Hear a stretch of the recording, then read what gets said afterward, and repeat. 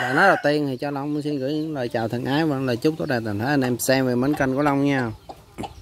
Chúc anh em à, một ngày à, thật là may mắn ha. Và anh em có nhiều niềm vui, hạnh phúc với gia đình của mình ha. Thì hôm nay à, để tiếp tục cái phần giải đáp thắc mắc của anh em á, thì có một bạn hỏi mấy con gà mà linh đồ á ha thì uh, trước tiên uh, mình sẽ kể với anh em một câu chuyện về của cái nghề gà ha. Thì mình nói với anh em vậy là anh em chơi gà là mình phải hiểu. Ăn thì lấy thua thì chung. Chơi uh, chấp nhận mua và chấp nhận chịu. Ha.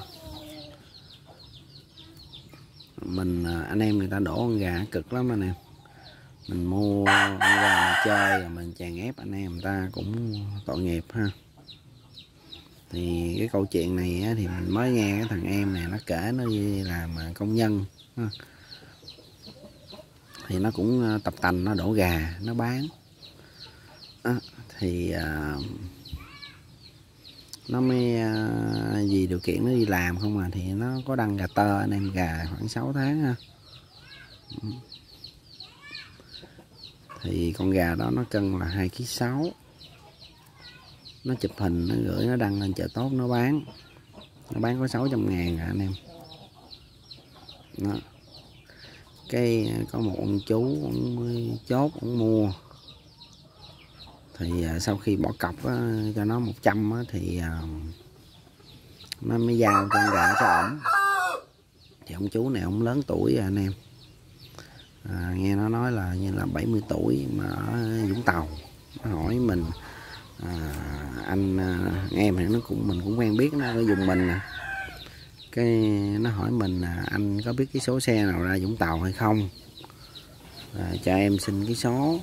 Thì bữa đó mình cho xong rồi bữa sau nó nó có kể lại anh tâm sự mình nghe thấy nó cũng tội nghiệp cho thằng em. Ừ. Thì uh, nó mắc điều kiện đi làm thì nó gà tơ thì nó bán giá gà tơ gà non về gọi là chia lúa. Rồi gà cứng thì nó bán giá khác. Thì cũng gửi qua rồi xong xuôi chốt xuôi thì à, à con gà giao à, xấu xị thì không có bao ship. Đó, cho ông chú đó người Vũng Tàu. Nó cũng lớn tuổi kêu nghe nói 70 tuổi. Thì ông chú đó ông mới chốt xong xuôi thì nó mới giao ra giao ra thì nó mới báo nhà xe thì à, à, à, lấy tiền gà của nó năm xị còn à, tiền ship thì khách nó trả. Xong ông chú đó ông nhận gà xong thì à, ông chỉ đưa có năm xị ông không đưa tiền ship. Cuối cùng về nhà xe nó lấy thằng này lại thằng xị gửi. À, cái à, xong rồi nó có tâm sự mình, nó nói hồi gì bỏ. Cái mình mới nói thì giờ em điện với người ta, em nói chuyện. Thì giờ mình có nói giao hẹn từ trước. Thì à, cái người em nó mới à, à, điện cho ông chú đó. Thì ông chú đó mới nói là, ô, gà non quá về, tao còn phải nuôi mấy tháng nữa mới ấy này nọ. Cái nó nói thôi, con cho chú luôn. Thì mình để cái câu chuyện này mình nói với anh em nè trong cái môn gà này mình chơi á, nếu mà mình không phải lay á, mình không sòng phẳng thứ hai á, chơi á, mà không hiểu được cái nguyên nhân mà chấp nhận ăn thua mà chịu mà chấp nhận chơi phải chấp nhận chịu thì anh em chơi gà không không có tương lai đâu. Đừng chơi cái môn này. Chơi không có sáng đâu. Ha. đổ con gà cực khổ lắm anh em. Không có dễ đâu. Đây gà này khách dặn mình đây. Hôm qua mình mới bắt, nó kêu à, cái lô này vô, anh có, này là mấy người dặn luôn nha, chứ không phải một người. Thằng thì nói, anh cái lô này anh vô con gà nào khá khá để em con đổ mái thằng thì hỏi, gà này để em chơi. Hiện gà này nó còn non, mình chưa có nhốt nha anh em. Có sao mình nói vậy. Có hôm qua mình bắt mình kiểm tra, mình coi thì à, nó dẻo lường anh em. Đó thì bây giờ là coi như là là bỏ rồi đó, đó. không có làm ăn gì được nữa rồi đó gà dẹo lương làm ăn gì được nữa đó. anh em thấy không đó. gà dán tướng thấy ngon lành không gà to gà chừng 4 tháng mấy đó. đổ ra con gà dày nó đâu có dễ đâu anh em rồi nuôi hao mòn bệnh tật mái đó. đó rồi mái nhiều hơn trống nữa có khi ổ ra không được con nào nở nó cồ đạp không đạt nữa. Rồi mái đánh lộn trứng tùm lum tá lả nữa rồi hư nữa. Rồi nuôi ra rồi bệnh tật nữa. Đó. đâu phải dễ đâu. Anh em thấy đó đâu phải đơn giản đâu. À, đó anh em thấy như gà này nè đó rút rút. Đó. nuôi không có dễ nè anh em là nó đi lại gần này nè. Đó. gà gì dẹo lường đau đớn không? Đó. rồi à, nhốt vô nuôi chơi. Đó. không à, có mấy đệ tử xuống nó bắt à, để nó ghẻ ghẻ về đá lấu lấu chơi. Ừ, em thấy đó. Tôm ăn không giá ngon lành không? Với bắt rồi tối coi. Trời anh em, mình nói anh em mà đổ cái nghề gà này, nó không có đơn giản anh em ơi không có dễ đổ đâu, không dễ ăn đâu. Nhiều khi tới bự vậy té ngang. Rồi anh em người ta bán cái giá, thì người ta bán cái giá nó so với trời, con gà đó bán thì cái giá nó quá xình anh em. Thiệt sự luôn. Đó.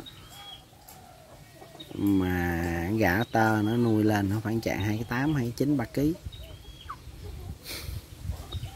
mà điện lại ổng nói còn nói gà tơ đá người ta đăng con gà lên là con gà tơ. Cái cửa nó làm sao, hình dáng làm sao, thấy rồi, biết rồi. Mà còn dở quẻ nữa anh em. Một trăm rưỡi nó tới đâu đâu anh em. Chơi vậy mình nói thiệt, mấy cái người mà chơi gà kiểu đó hả tôi nói thiệt sự luôn. Là không bao giờ khá nổi tôi nói thiệt sự. Này không phải câu chuyện của mình, nhưng mà mình thấy mình bức xúc. Đây mình nói thiệt anh em mình giao gà nó thiệt luôn á. gà tiền. Thì mình bao xếp chứ còn gà mà mình giao hai vít là mình không có, hai vít, ba vít là không có cái bao bao xếp đâu anh em. Mà nó thiệt sự. Đó. này nó không phải ấy, nó thiệt sự.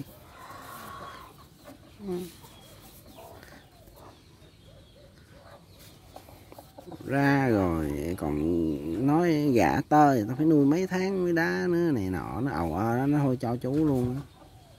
Nó nói chứ mình nghe luôn, chứ không phải mình nói. Chơi không có nét, không có đẳng cấp anh em. Mà mình đây cũng, mình cũng giao với nhiều anh em ngoài Vũng Tàu chứ đâu phải không đâu. Người ta chơi rất đẳng cấp, rất nét anh em. Đó.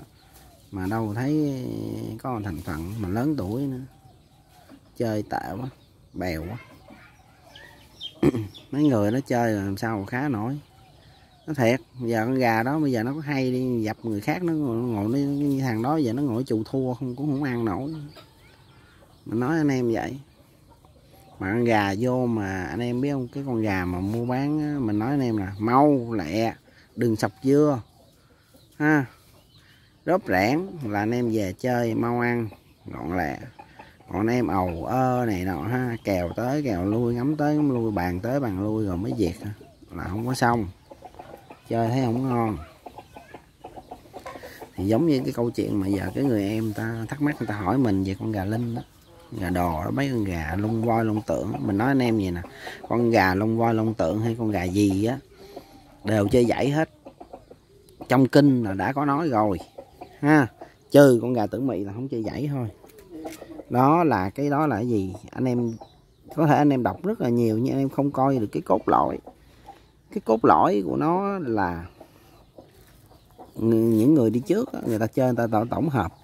Những cái con gà mà quý kê, tướng tướng kê này nọ mà có dãy lỗi là chơi không có được. Anh em cứ tin mình đi.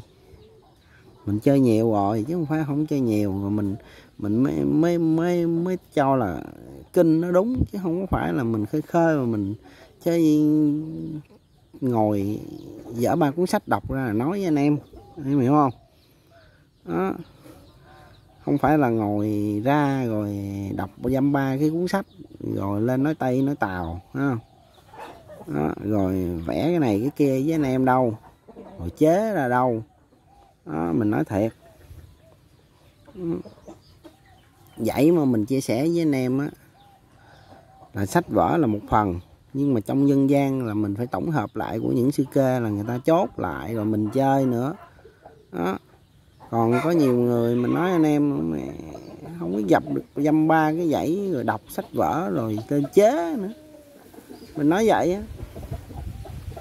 Chứ không, không phải này không phải là bài trừ hay bài xích hay gì. Nói chung là anh em nào muốn chia sẻ cái gì á, là mình đều tôn trọng, đều quý mến hết. Anh em muốn chia sẻ cái gì cho anh em chơi là đều tốt hết. Đó. Thì anh em cứ chắc lọc anh em chơi, anh em coi, ha. Nhưng mà mình nói với anh em nè, cái gì mà của bản thân chúng ta tạo ra, đúng không? Chúng ta muốn nói gì cũng được. Còn những cái mà đi trước đã có sẵn, đừng chế. Anh em hiểu không? Đừng chế, đừng biên soạn lại anh hiểu hiểu ý mình không? Chế ra tàu lao mí lao, nó thiệt, anh em vậy. Rồi ví dụ như um, con gà linh. Đã, em mình nói anh em những con gà ẩn nó mới hay. Ta nói là trên con gà, cái gì cái ẩn. Dù mình nói anh em là trước đây mình, bạn mình nó có một con gà. Nó có một cộng cộng cộng lông nó ở trong cái dốc họng con gà con gà đó là khi cái bữa nó cho ăn mồi, ăn à, ăn ba cái gì thịt bầm gì á, nó nó nó mới kéo dây. Anh em rồi nó dướng kéo ra mới thấy rồi kéo kéo vào ấy.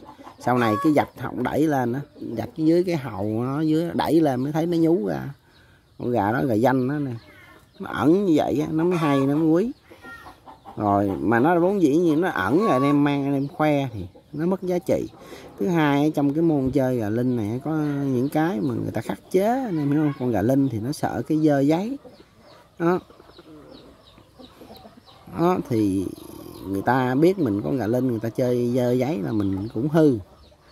À, hiểu vấn đề không? Thì anh em có cái con gà quý á ví dụ như là bầu diều trái rồi à, lông tượng lông thép lông voi gì ha lưỡng nhãn này nọ anh em chơi anh em cứ ngầm ngầm anh em chơi. Cái thứ hai mình nói với anh em nè cái con gà. Những cái đó nó chỉ là dấu hiệu để nhận biết con gà. Là nó dấu hiệu để nhận biết con gà linh thôi. Anh em hiểu không? Trong kinh ta vẫn nói là dấu hiệu để nhận biết. Đó. Tức là những cái con gà linh con gà quý đó, nó sẽ mang những cái dấu hiệu đặc trưng. Mà càng nhiều cái dấu hiệu đó thì nó nó nó nó càng khả năng nó là con gà linh con gà quý nhiều vậy thôi chứ không phải cứ có cái đặc điểm đó là như vậy.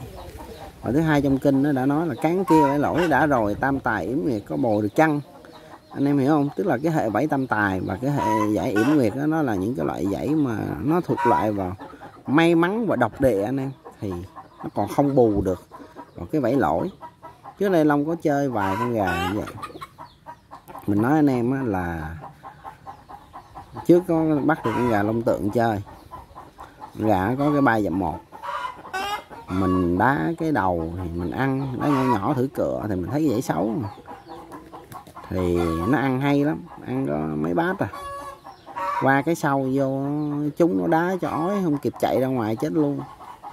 Đó, đá lớn. Nên chơi qua rồi thì mình đã nói anh em cái gì, đã chơi rồi chứ không phải không chơi thứ hai anh em biết không mấy con gà linh không phải ai chơi cũng được. Ví dụ như mình nói anh em có người thì chơi con gà không lưỡi được. Có người chơi con gà bầu diều trái được. Có người ta cầm gà bầu diều trái ăn mười mấy hai chục cái. Ba bốn chục cái luôn nhưng có người cầm gà bầu chai diều trái chơi ăn bảy cái chơi. Tại thực tế là những con gà đó nó, nó không đủ cái yếu tố của con gà xuất sắc. Nó còn nhiều cái yếu tố nữa anh em hiểu không? Cái người con gà linh khó chơi lắm nha nè con gà quý quý kê chơi dễ hơn con gà linh kê ha? Mình nói anh em vậy. Thì đó là đôi lời chia sẻ thôi, ha? Nói mình nói với anh em vậy. Còn à, chỉ dám gọi là chia sẻ một chút cái hiểu biết của mình tới anh em mà cùng nhau chơi, tổng hợp chứ chả dám dạy anh em nào hết, ha? Đó. Con gà, thực tế cứ mang ra tháo cửa. Tiền bỏ túi chắc cú, vậy thôi, ha. Bữa mình nói đó, có người em nói chưa bỏ tiền túi, chưa chắc cú, đúng rồi. Lỡ gà ừ, con gà mà chân xanh bóng đen là mệt, nói vậy đó thì nói vui vậy anh em, ha. Thì gà dịch mà. Thì mình chơi mình lựa cái hai cái quý, cái may mắn mình chơi thì nó thêm phần thắng thôi chứ ai anh em giờ chơi, ai không sắm được bổn giỏi ha, ai không sắm con gà dữ ra chơi. Đồng đồng ý cái chuyện ăn thua là không ai cầm đồ đầu lao ra chơi với anh em hết. Anh em phải không? Nhưng mà giữa hai con gà nó ăn thua với nhau là nó phải có cái sự phân biệt.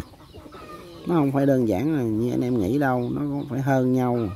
Về nước nuôi nài nè, rồi à, tướng thần nè, rồi dãy di cán dáng nè, rồi sắc lông màu sắc của thể hiện của nó, rồi nước lông của nó mới bóng nữa đó thì đó là đôi lời của long chia sẻ với anh em vậy ha. Để anh em chiêm nghiệm. Đó thì con gà linh đó, thì mình nên mình giấu mình đừng có bày ra nói chung á mình từ xưa giờ mình chơi cái nguyên tắc mình đơn giản lắm. Cái chỗ đó chơi điếm đàn không chơi. Gà người ta gà hay gà linh đồ thì mình né. Còn cái cách mà để mà chơi để hạ nó thì cũng có nhưng mà mình không thích làm chơi, cái đó nó phản tổ quá, không thích chơi, ha. Đó là chia sẻ với anh em vậy, ha. Rồi thân ái chào toàn thể anh em, ha. Chúc anh em buổi xem ờ, kênh thật là vui vẻ, nha.